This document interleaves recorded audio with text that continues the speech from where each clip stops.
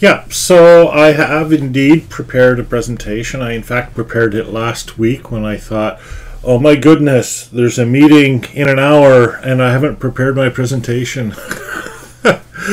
so I've had it, it's, it's been sitting for the last week now and I've been ruminating over it and I actually used it in my online course because why not? Um, so I did do that. Um, and uh, just so you know, this is my the first of three presentations in three hours that I'm doing today, and I actually have to leave this meeting 15 minutes early in order to accommodate the next presentation. So I'll get right to this. So the uh, presentation is called the search for the social algorithm. I just need to size that because I didn't get a chance beforehand. Uh, here we go. Let's just move that so it's a bit easier for me. There we go. That's a bit better, isn't it? Uh, okay. Probably doesn't need to be bigger than that, I don't think. Uh, I think you can read that all right. You're all on your computer screens. So, and that photo there is of me almost exactly 10 years ago at Occupy Wall Street in New York. Uh, in the thunder snow. so it was kind of a wild time, and I used that as a, as a theme to frame this. That's why it says, by the way, October 12, 2021, instead of October 19, last week. So, uh, here's the setup, right? Uh, we're struggling with uh, things like fake news, what to believe, how to believe, how to learn. We're also facing issues of power, uh, information, misinformation, and of course, a bunch of global crises. And, uh, that picture there is the beginning of a lot of that. That's actually Wall Street during Occupy Wall Street, special weapons and tactics. Um, and you know we we've talked about this uh, before. We're in an environment of complexity and chaos with rapid change, information moving at the speed of light, globalization, breakdown of communities, and mismanagement of complex events. Government response to the pandemic being only the most recent of these. Some governments, not all governments. So, uh, our response as a community, and by community here I mean especially an educational community uh, and perhaps scientific community, um, is that has, has been poor.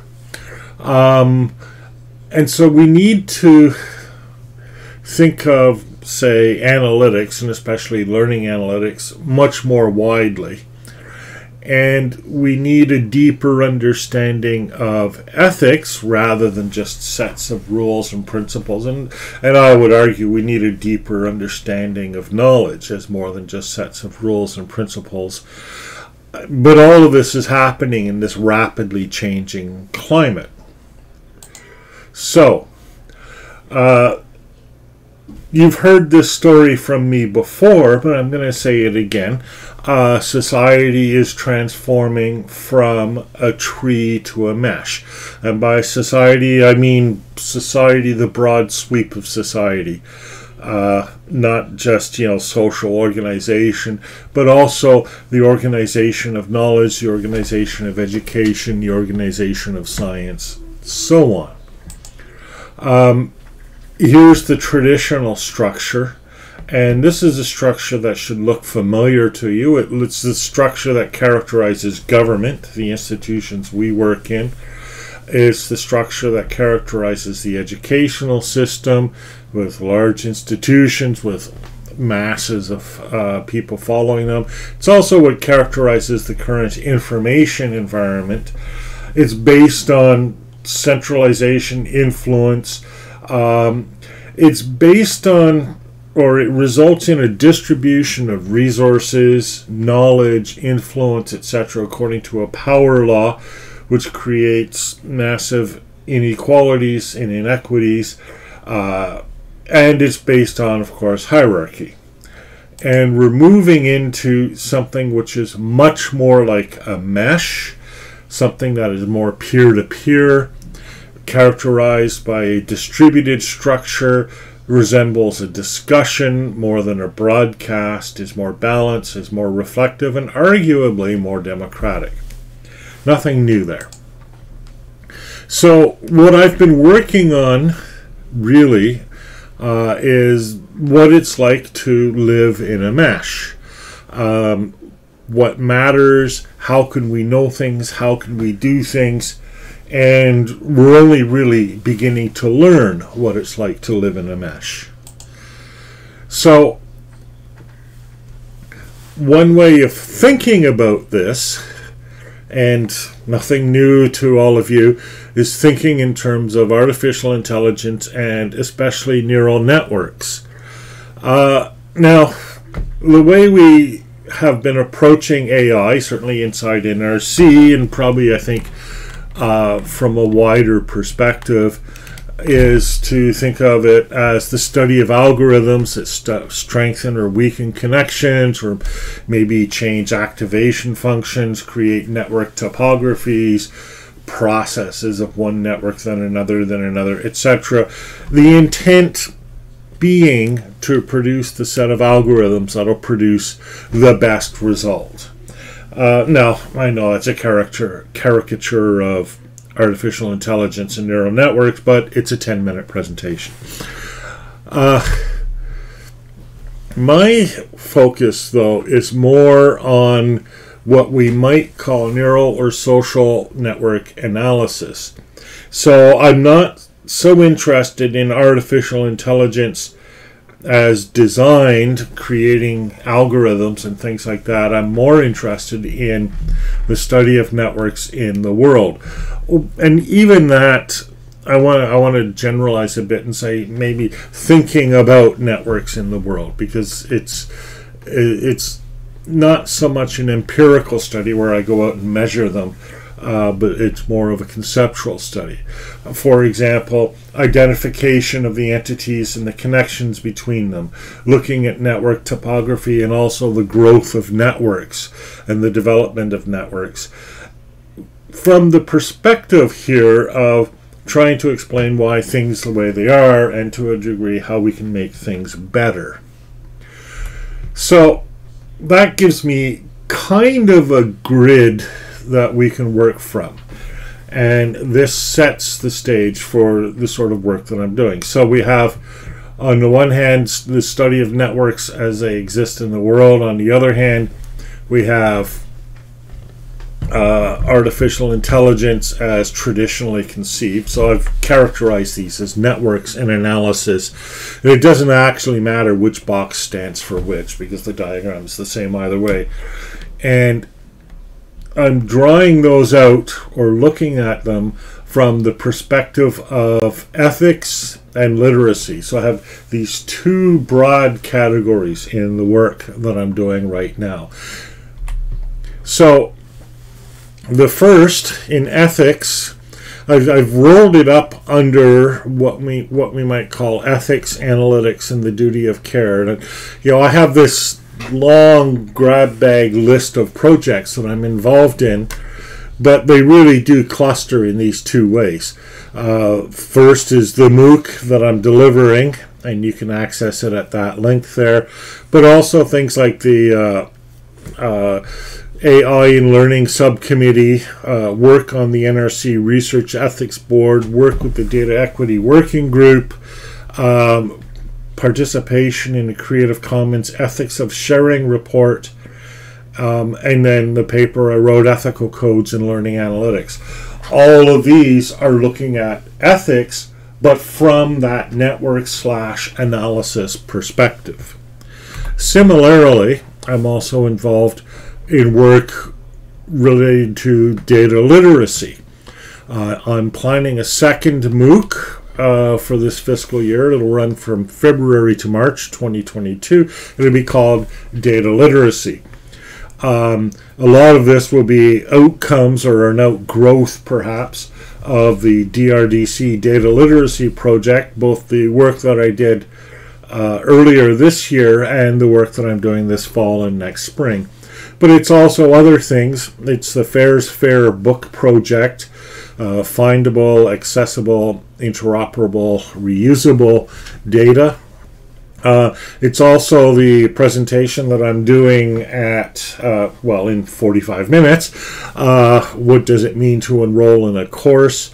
It's the COVID EA reports uh, about what people need to learn and how to learn it, and even includes the work in blockchain and consensus, which I think is tied to data literacy in important and interesting ways. So, these come together, to my mind, in what I call critical literacies. And this is the project the the main project that I'm working on.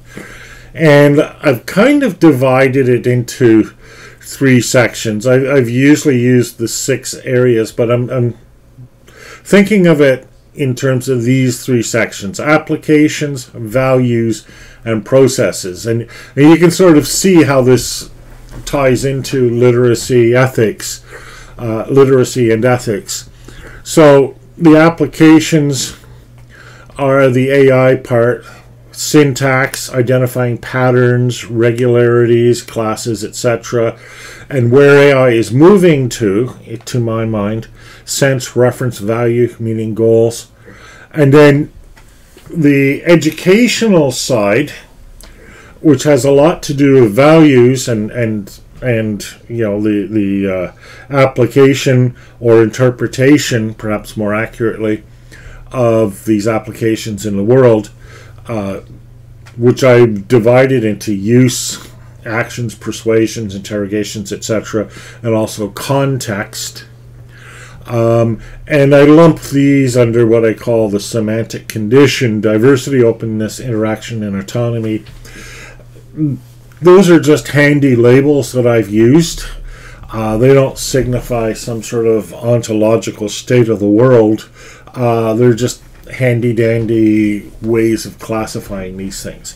But what I'm interested in is, uh, you know, how the existing organization and development of social networks and, and networks in general reflect our values, and that that's the outcome of certainly of the ethics project, and I think also the uh, data literacy project to a degree and then the uh, the uh, the recommendation part, if you will, or the implementation part, if you will, the uh, application of applications and values to practices, which I've classified under cognition and change. There's probably many other ways we could talk about practices, but the idea here is to see how this way of looking at the world changes what we do in the world. So, data literacy is the MOOC. Oops, sorry, wrong way. So, now that gives me a frame for looking both at ethics, looking at how we apply artificial intelligence, uh, you know, such as the applications of AI in learning, and also uh, one of the sections of the course looks at the decisions that we make in the course of an AI project from data selection to labeling to algorithm selection to tuning to feedback, etc. Um, also, there's the ethical dimension, the issues that people identify, the historical approaches to ethics, and then the more recent work in what's been called the duty of care and then converting that into practices. First of all, looking at what we already have in terms of ethical codes across domains, but also looking at what could be, maybe should be, ethical practices in learning analytics. Similarly, with literacy, and this is less well formed because it's more in the future and I have more background and research to do on this, but I'm looking again at applications, things like data literacy models, elements of data literacy, etc., seeing what people have been doing out there in the world about data literacy. This also involves a classification, perhaps, of different types of data literacy. for example, uh, information literacy, data management practices, etc. Um, then what the values are.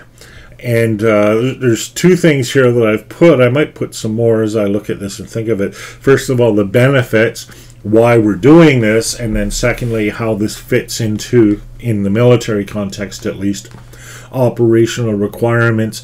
And I may think about other values of data literacy like uh, you know goodness quality etc um, to to bring that aspect in and then resolving these into practices first of all measuring and assessing data uh, data literacy and then secondly mechanisms for enhancing data literacy which I plan to to some degree operationalize in the MOOC that I'm doing next uh, spring.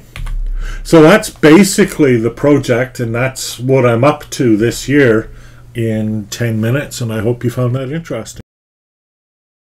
Not, never mind. Never mind. Uh, uh, I have identified, I have identified some of the benefits. Some of the benefits. Uh, uh, I'm trying to remember them, to remember off the them off the top of my head, remembering, remembering them off the top of my head. Um, um, but the, I do but have I do a have list a list of them somewhere in somewhere my notes. in my I've got all of my all of my notes are available um, um, in uh, in uh, in a Google in a Google Docs, Docs file, which is available which is available from, the, from research, the, docs, research docs or the or uh, the now page, now page for my reports. For my reports. Um, but I mean the, I mean the, the, the benefits, the benefits are, are, for example, for example, like better, better uh, responses, responses to changing, circumstances, better management, better management uh, in uncertainty, uncertainty. You know, you responses, responses to all to all the things that I listed off the top of my presentation. Um, chaos, change, change, management, etc., etc.